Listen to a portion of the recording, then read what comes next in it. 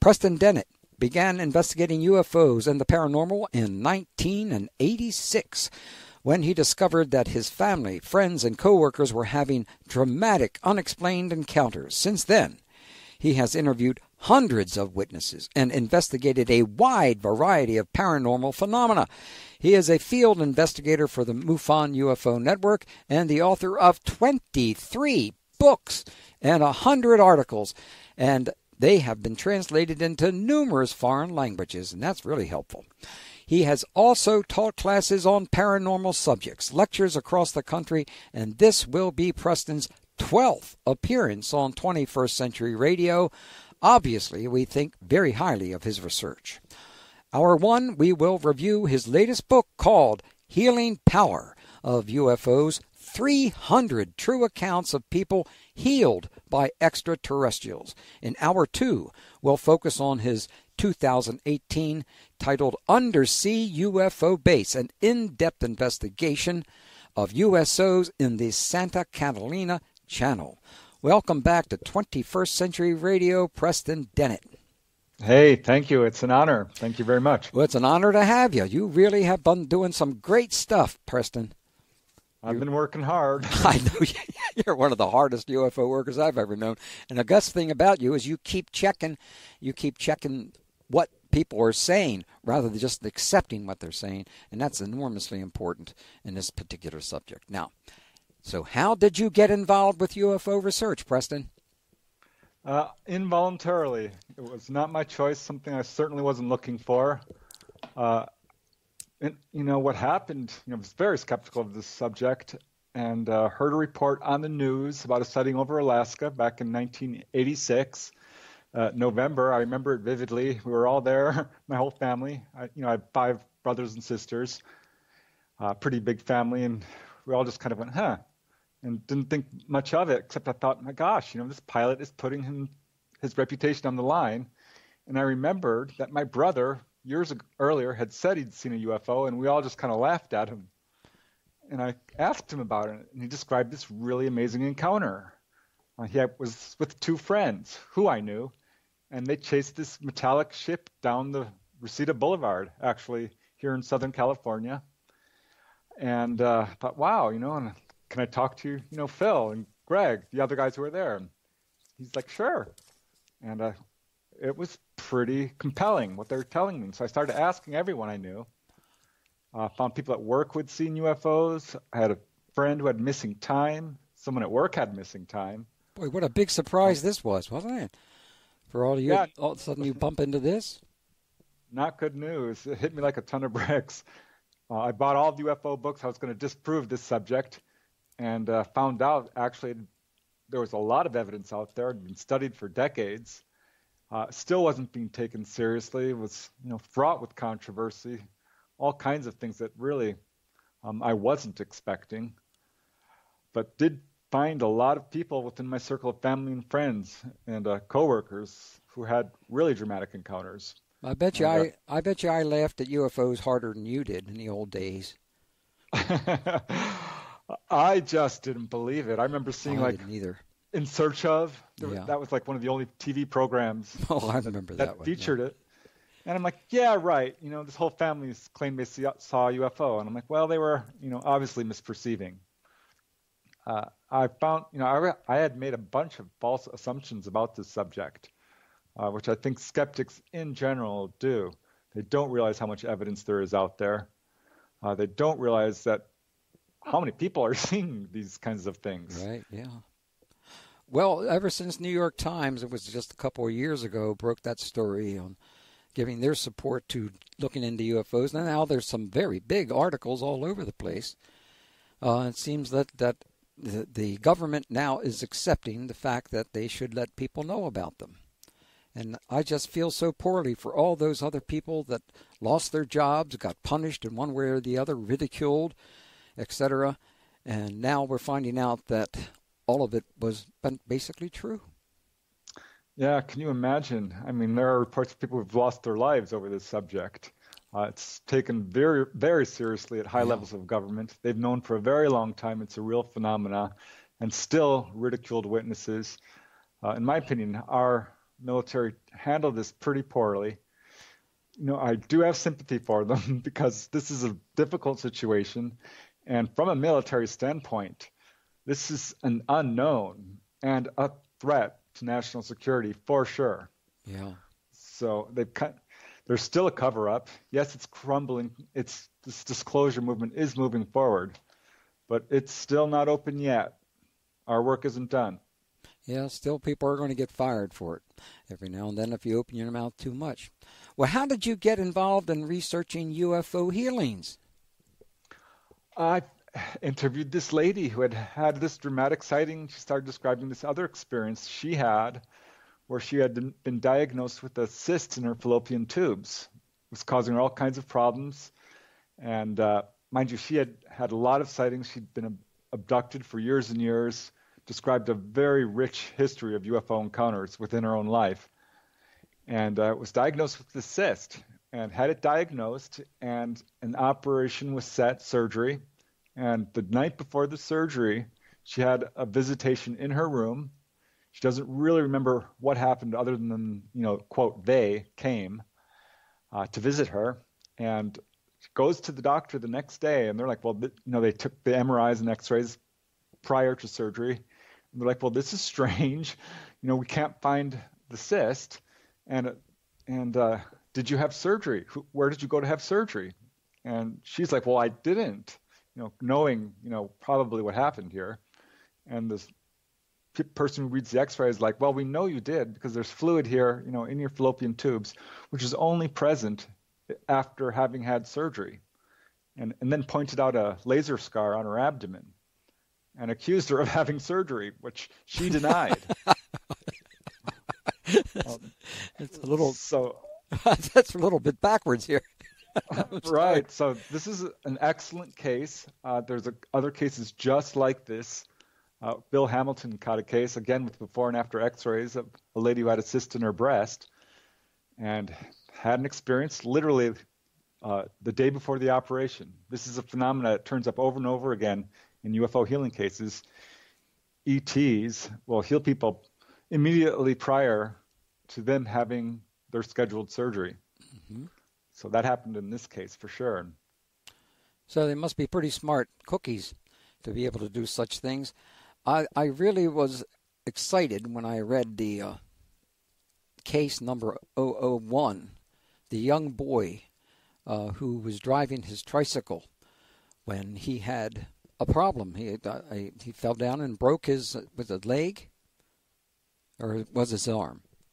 Right. He believes it was his arm. It's a very early case, the first one actually that I could find. Yeah, 1914. Wow, that's really going back there, brother can you imagine? I mean, this phenomenon has been going on for at least 100 years. Yeah. Uh, certainly since the 1950s, it kicks up. But that's the earliest case I could find.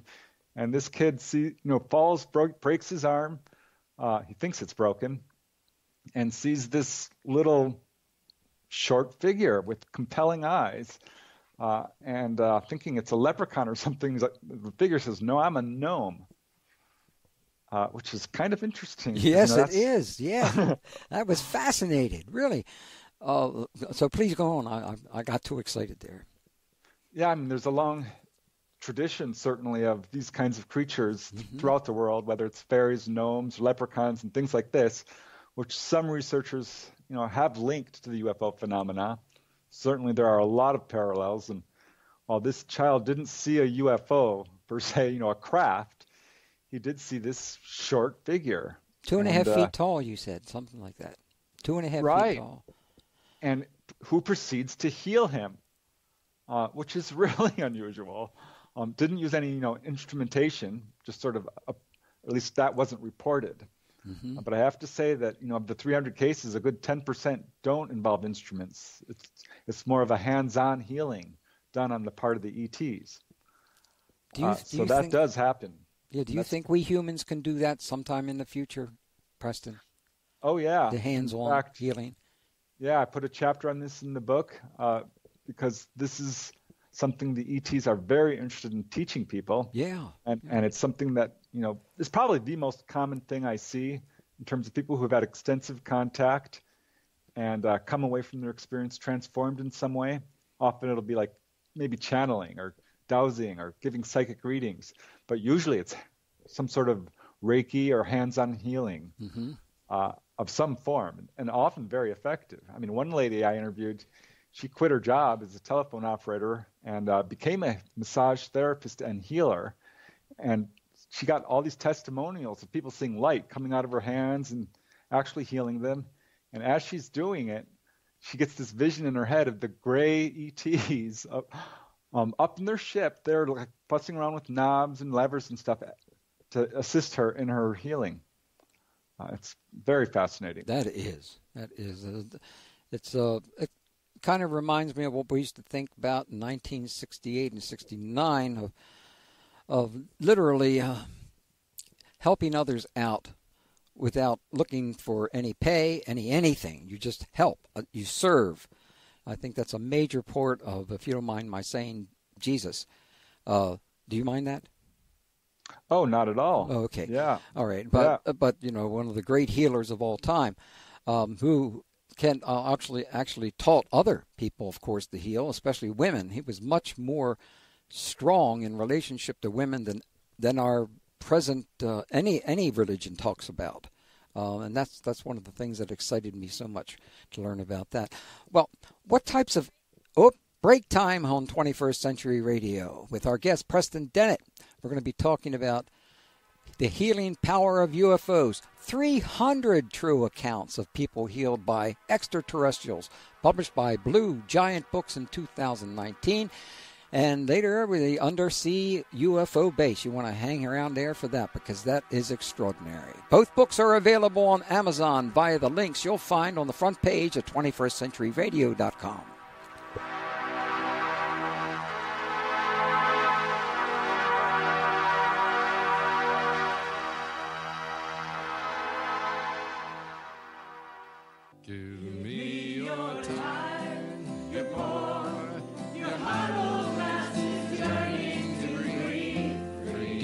appreciate the Statue of Liberty as an American goddess? Well, we do in our new book, Secret Life of Lady Liberty Goddess in the New World. It's been described as a long overdue feminist and multi ethnic history of the Statue of Liberty that surprisingly draws our country's entire history through this iconic image.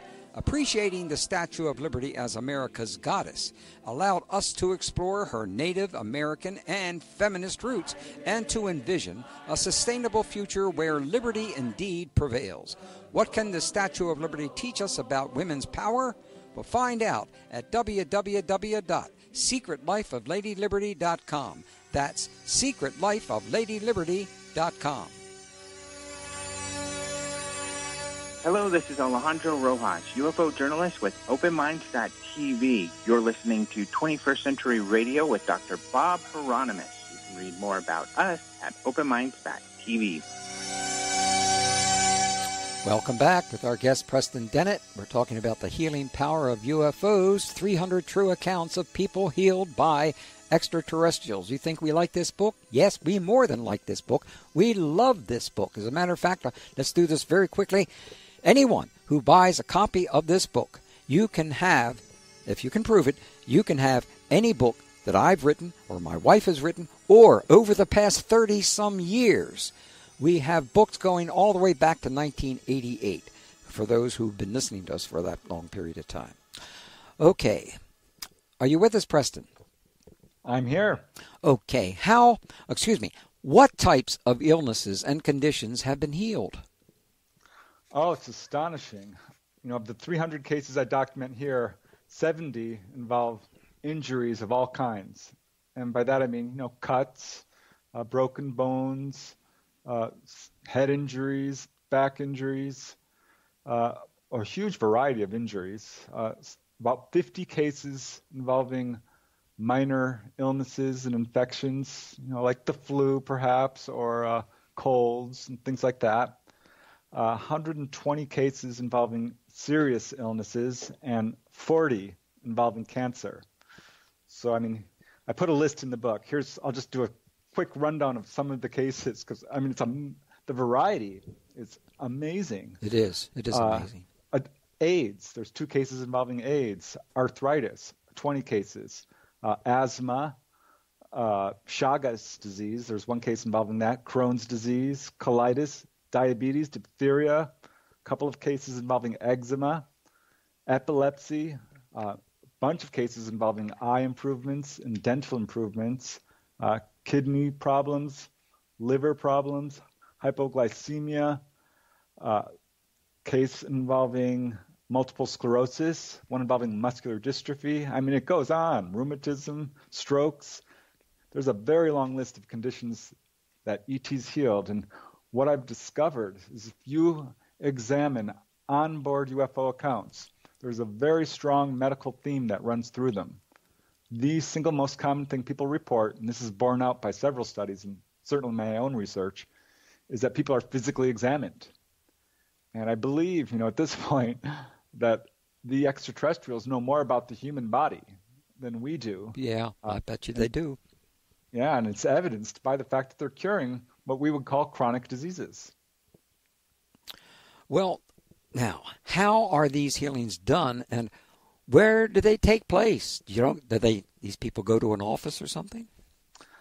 Uh, well, the healings are done in a number of different ways. I would say most common, it's uh, probably about 50% of the cases involve light uh, from of some form. Perhaps it's coming from the UFO itself and shining down on them, or perhaps they're taken on board and the ETs are holding instruments that emit laser-like lights. Uh, that's very common. There are some cases involving medicine.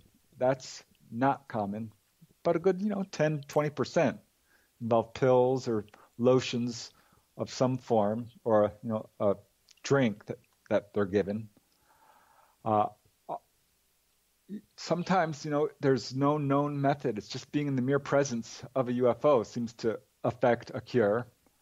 So it's hard to say as far as where these cases are taking place. Yeah. Uh, we do know that uh, about half of the cases people are taken on board a craft and they're given some sort of a operation or surgery or procedure. Uh, in about 20% of the cases, people are outside, uh, perhaps driving their car or walking. Uh, another 20% people are us- in their homes, usually their bedrooms. And here, this really shocked me, and I wasn't expecting it. 10% of the cases, um, at least, take place in hospitals, in hospital rooms. That's wonderful. That's wonderful because there's so many mistakes made in hospitals. I'm glad glad they're hanging around there. The, my I, I talked yeah. about I talked about my my sister. I mean, she was treated terribly, terrible. Northwest Hospital has something is really wrong there. Excuse me, but boy, uh, some uh, they may even taken to court someday for what happened. Go ahead, please. I'm sorry. Yeah, no, I mean our, our, our medical health systems got some real problems, and this comes up. I mean, there's one case where a gentleman was visited by ETs who were working on his knee. He's like, "Oh, you're hurting me, you're hurting me," and they said, "Well, we're trying to heal your knee." Um, this was a gray who was manipulating his knee, and the other gray, there was two of them, was in the bathroom, lifted up some pain medication, and walked back into the you know main room, the living room and uh, asked the, the witness about its use and what was it for. And often, you know, they will express sort of a not a disdain, but a sort of a disappointment in how primitive our uh, yeah. own medical research is. Mm-hmm. That does come up. Yeah. Oh, thank you. Well, but, what well, what kinds of people are being healed? All kinds of people. This was the really kind of interesting to me at first, and it also bothered me because I couldn't find any patterns. Uh, the first thing I looked for, you know, of the 300 cases is, you know, it's evenly divided between men and women, certainly all across the planet. Uh, most of the cases are from the United States, but that's certainly because, uh, you know, I'm centered here in here in California. Uh, but absolutely worldwide, the United States produces more than anyone else. Can- Canada, I think, is next. Then England and Russia and all the major so-called superpowers uh, which to- makes total sense. I couldn't find any basis on you know race or religion or age, even. There's cases involving very young children, uh, cases involving very elderly people as well. So what I did finally find is one pattern which kept turning up. And about, about the you know 50th time I saw it, I'm like, well, this I, I think this is a thing, and that is profession, a person's job, and it's a loose pattern. But what I found is that people who are doing good work for humanity in some capacity uh, have a much more higher likelihood of being healed. Now, if you have a history of UFO encounters, that certainly does increase your chances because about half the cases involve people who have a history of onboard experiences. Uh, but a good third don't. And this weird pattern kept turning up, involving people who are social workers, perhaps, inventors, doctors, turns up a lot, teachers, uh, entertainers, even, uh, human rights activists, this sort of thing. And yeah, it turns up enough for I'm like, huh, wow, here it is again. Yeah, yes. And that, that's super important. Service to others is the key to, in my opinion, absolutely most everything. That's how, uh, when people get involved with serving others without thinking about themselves, then that kind of love is this kind of love Jesus had, if you don't mind my saying. Right. There are at least three cases that support that. I find it interesting a quote from Betty Andreasson, very oh. famous abductee, where the Greys told her flat out that love is the answer for humankind. Yeah. Yeah. I, I totally agree. It's all it's so simple and would solve so many of our problems. You're darn right. We understood that back in 1968 and 69 and that's what Woodstock was all about, but most people had no idea what was going on. Now, how many cases are there? Are there more healings or, or, or injuries? Uh, you know, the 300 cases I've documented in this book are only the tip of the iceberg. I'm still yeah. finding new cases every time I speak about this. And here's the thing um, I think most UFO researchers will agree with this. Most people don't report their sightings, their yeah. experience. Mm-hmm. Uh, something I always ask people when I interview them, like, have you told anyone else? You know, who did you report? Did you report call to the police, a UFO reporting center? Uh, most people don't. I'm going to say one in ten do it, and that's being very generous. Uh, I'm probably closer to one in a hundred, so I'm guessing there's way more than what we're seeing here. And here's another problem: there's a wide variety of alternative healings coming from different sources. Uh, if you look into the literature on angels, it's very compelling and are a lot of healing cases and some really uh, remarkable similarities to you know ET encounters, beings of light coming and healing people. Light seems to be an extremely important aspect, whether or not I've always been curious about the difference between their green lights and their blue lights and their orange lights, uh, as to whether or not they have. Do you know if they have any spe- speciality with with each one of those different colors? Uh, have not been able to determine that because what I'm seeing in these cases is a wide variety of colors. You sure are. um, there was, yeah, I mean, the Peruvian's customs official sees a, goes out onto his veranda and is, sees a UFO up there, and, and this purple beam of light comes down and strikes him. And he is healed of nearsightedness as a result of you know, being struck by this beam of light. And his rheumatism, his chronic rheumatism, cleared up right afterwards. Wonderful. How wonderful. Well, is there any evidence or proof to support UFO healings? Oh, yeah. You know, some cases rely on, you know, eyewitness testimony for the most part. Other cases are extremely well documented.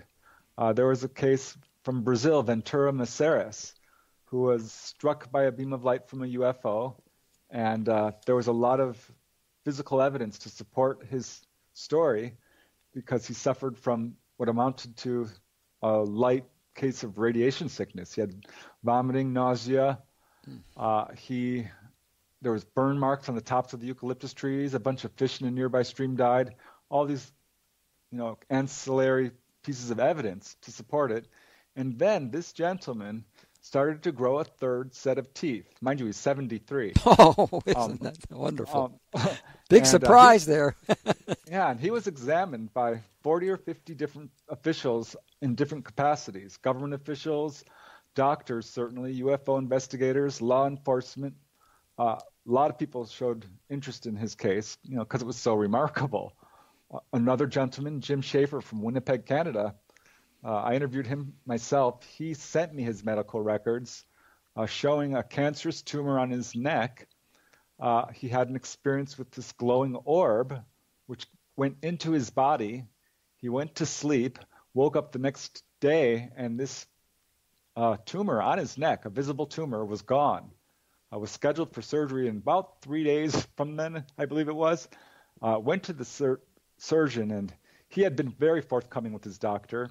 Um, he had his, a medical history of UFO visitations and told his doctor what was happening because he'd come back with you know cuts and bruises and things like this. And the doctor was like, huh, you know, I, I don't know what to say, but I can't explain this or that. And then he goes and says, well, you know, the tumor was taken away. And they were astounded.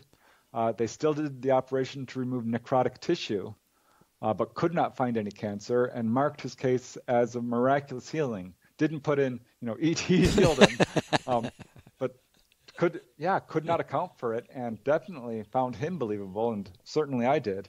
Mm-hmm. Well, what kind of ETs are performing these healings?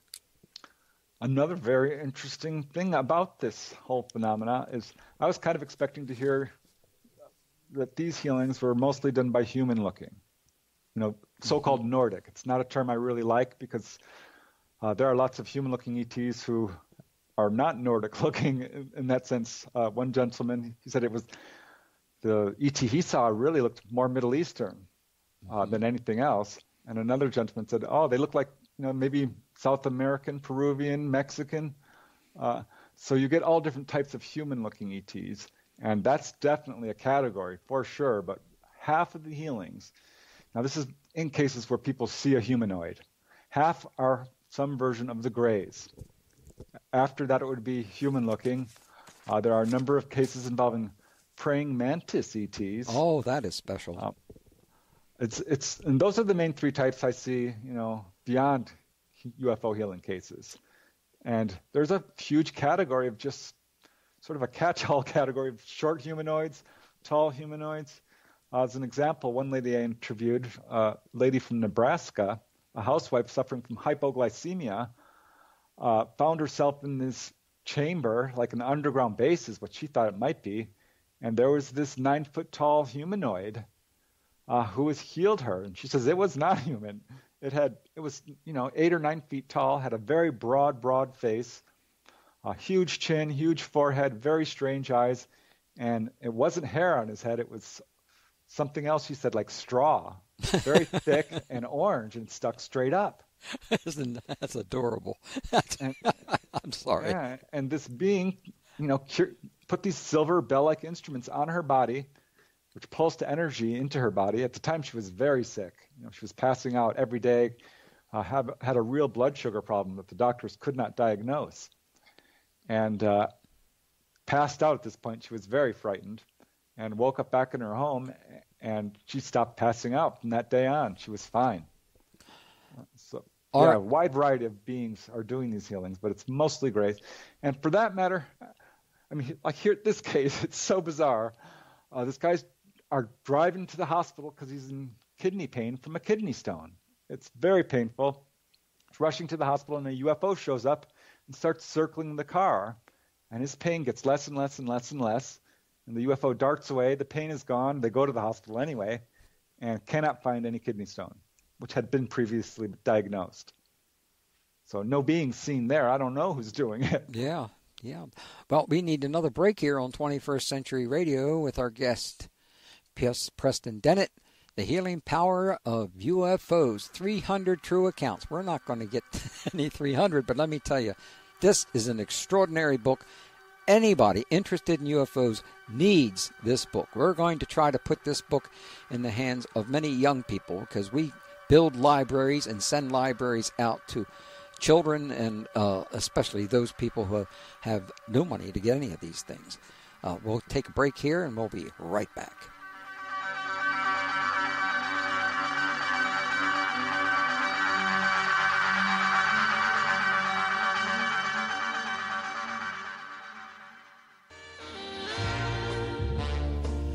How would you like to win a free copy of the book we're talking about? The Healing Power of UFOs 300 True Accounts of People Healed by Extraterrestrials by Preston Dennett. We're going to give him a PhD. He deserves one. He, he deserves a couple of PhDs, but we can only give him one. What about uh, he's this one was published by Blue Giant Books. If you know the answer to this hour's trivia question, you will win that book. Who was our guests the last time I hosted 21st Century Radio Live? The last time I hosted 21st Century Live, live let us let me know who our two guests were. If you do that, you need to be qualified. So here's how you qualify. If you know the answer to this hour's quiz question on 21st Century Radio and you have not won from us in the last 60 days, call in now. 410 922 6680. That's 410 WCBM 680. First with the right answer wins. Prizes are available for you to pick up at the WCBM studios in Pikesville after Friday of this week. Winners have 60 days to pick up the prizes and must wait 60 days before winning another prize from 21st Century Radio. Good luck. This is Jan Harzan, Executive Director for the Mutual UFO Network, otherwise known as MUFON. You can learn more about me at MUFON.com. And you're listening to 21st Century Radio with Dr. Bob Hieronimus. Okay. Welcome back to 21st Century Radio. We're still hearing, hearing UFOs in the background. And our guest, of course, is Preston Dennett. Now, Preston, what do these types of cases say about ET? Are they benevolent or are they hostile? Uh, well, yeah. I mean, this is a great question because what we see, you know, in terms of uh, the media with the UFO phenomena is it's very fear-based. Yeah. And these types of cases are not presented very often. That's uh, right. Uh, certainly, I've you know surveyed the major researchers, and pretty much all of them do have these kinds of cases. Uh, Bud Hopkins certainly, David Jacobs, Edith Fiore, uh, Tim Beckley, Brad Steiger. I mean, I could go down the list. Barbara yeah. Lamb, Yvonne Smith, they're all reporting these types of cases, but we don't hear a lot about them. I think one of the reasons is that people who have traumatic experiences seek therapy and help and uh, so try to sort of socialize their conflict and get some help. Uh, whereas people who are, say, healed uh, don't have that need and maybe even more reluctant to report their case due to its sensational nature. Uh, but for sure, this phenomena of UFO healings shows a much brighter side to the ETs, a much more benevolent and positive side. And if you look at sort of the umbrella of human behavior and compare that to you know how the ETs are behaving, I think you'll find it's very similar in a lot of ways, except it's skewed towards the positive. Because what we don't see with in terms of onboard UFO experiences is what I would call sadism or torture or mass murderers or you know things like this. Uh, the worst we really get is um, some people do report pain, certainly during some of the, these procedures. Uh, it's not super common, and often the pain is relieved uh, once the patient starts feeling it. Uh, but sometimes people feel like they're being treated very much like a lab rat, a, lab animal. Uh, there's little regard for their feelings. Uh, the ETs are not very communicative, uh, communicative in some cases. Uh, that's a minority. I'm going to say a good half, at least, of the people who have had a healing uh, feel very benevolent towards the ETs, and there are a good number of cases that just smack of altruism. Uh, there's another percentage of cases that don't, where people feel like, you know, they're just using me to produce hybrid babies, uh, this sort of thing. Uh, there was one gentleman who didn't remember his experiences consciously. Uh, he went under hypnosis and covered some fairly horrendous um, memories of operations at the hands of ETs. Uh, it was not a pleasant experience for him, even though they did cure him twice once of a mole on his face and another of kidney stones. Uh, so it's, it's hard to really say, you know, exactly the intentions of the ETs uh, in terms of the healing cases, but it does, to me, it sounds like I mean some of these cases, yeah, are absolutely altruistic. I've always been a bit concerned though about their um, the UFO itself. Some have seemed to be toxic when people get too close to them. Now that's not what the ETs want to happen. It's just that I, I know you, you listed one or two of the cases that I'm talking about in which they had cancer and it took a long time uh, and they eventually ended up dying, uh, unfortunately, and the government uh, the government ignored their problem altogether because they didn't believe that that had any that, that they actually were aboard an ET, were uh, uh, excuse, excuse me, a UFO, or was related to that. Do you remember those cases? Oh yeah, yeah. There are a good, you know, hundred, several hundred cases involving what you would term injuries. Uh, that's you got to be careful when you use that term because some people just report like eye irritation. Is that an injury? Well, you know, in some cases, people have reported more serious uh, problems. It's not uncommon to have a migraine headache after a close-up UFO sighting. I did not know that was a thing, uh, but that certainly does turn up. Uh, there are a good number of cases where people have gotten too close to a UFO or were struck by a beam of light from one and suffered what would be diagnosed today certainly is radiation sickness. Uh, oh, and some have died from this. Mm-hmm. Uh, so, yeah, there is a dark side to this phenomena. Probably not a good idea to just run up to any UFO you see. But in general, I'm not, I don't think that this is something to be afraid of. I don't think they're trying to hurt people. That's not the agenda at all. Right. That I agree. I agree. Uh, but I think the, the, the military is going to look at it a bit differently, and a lot of politicians are going to look at it differently, and that, that's why I think your book is so important. Uh, because my being able to put this book in the hands of other people that I've argued with about this for some years is is going to make me very happy, and I think it will make them happy too, because uh, you know all of us want to think more positively. Uh, what do these cases tell us about our own medical technology? We touch actually on this a little earlier. Yeah, well, certainly we're seeing some remarkable parallels. We do use light a lot more now to cure people. Uh, we're speeding up the healing of flesh wounds uh, using electrical impulses. We use uh, laser beams to cure people of uh, detached retina. There are cases just like that in the ET literature. Uh, Betty Hill, she described a laparoscopy before, you know, this was yes, in wide use. Right. So we know that uh, they're using basically the same methods we use. And these cases should show us that such a thing as chronic is a misnomer mm-hmm. or incurable. It's just not true. There are people, a lady from uh, Canada who had terminal cancer and was was expected to die, ended up having an onboard experience and a rather prolonged and painful operation at the hands of ETs, uh, who told her, "Don't take any more medicine after we're done. You know, just drink water. You're going to be fine." And she was. She got very sick afterwards. Doctors thought she was going to die. Her whole family was called, but she rallied and recovered completely from terminal cancer. Uh, there's a lot of cases like that. So I, I think this provides sort of an avenue or certainly hope uh, to look into, you know, so-called terminal cases and realize they're not. You know, why would an ET travel light years to cure someone of a common cold?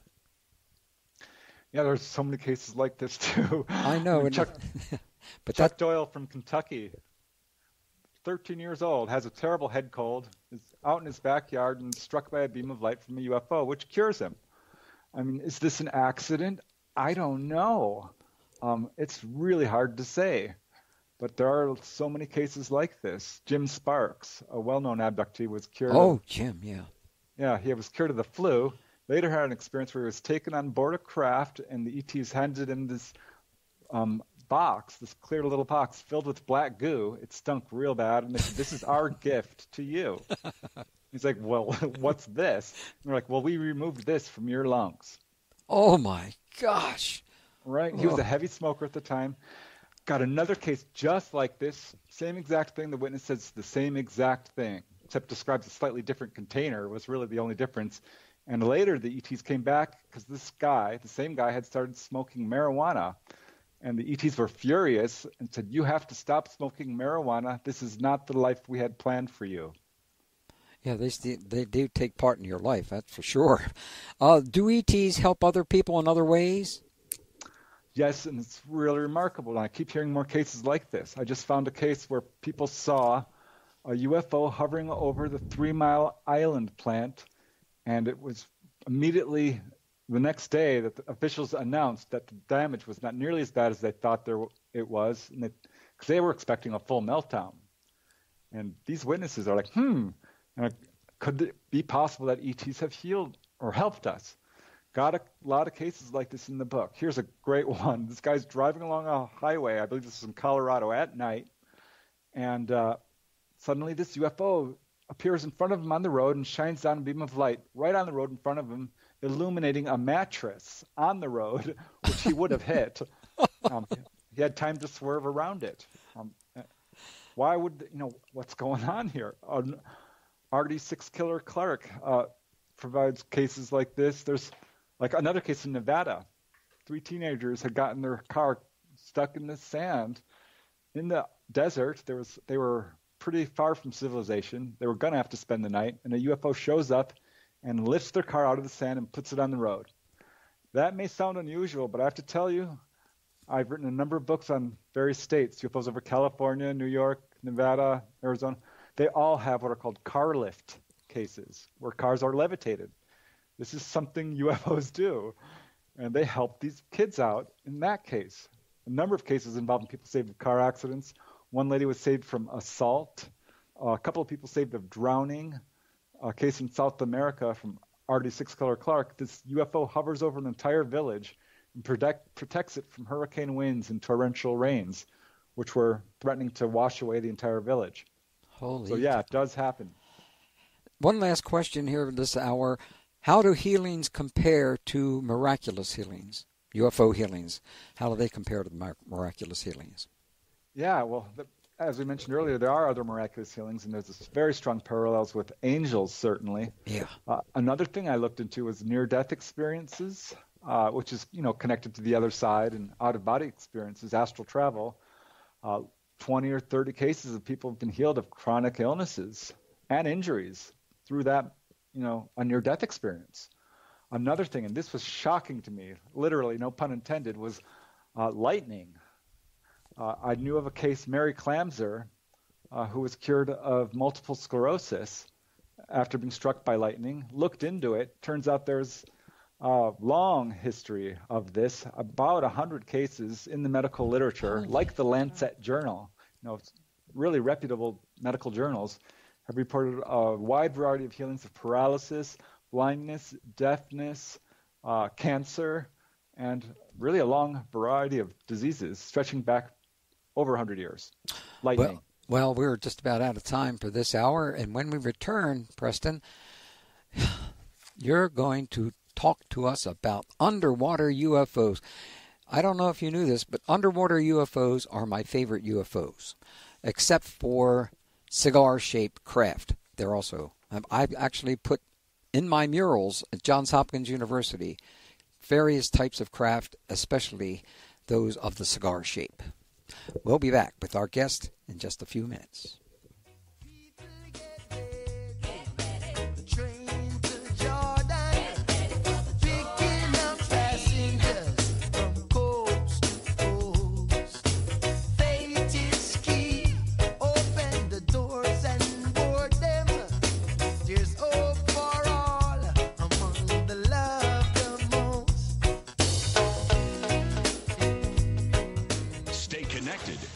Informed on the number one news talk station, Talk Radio 680, WCBM, Baltimore, and WCBM.com. Democratic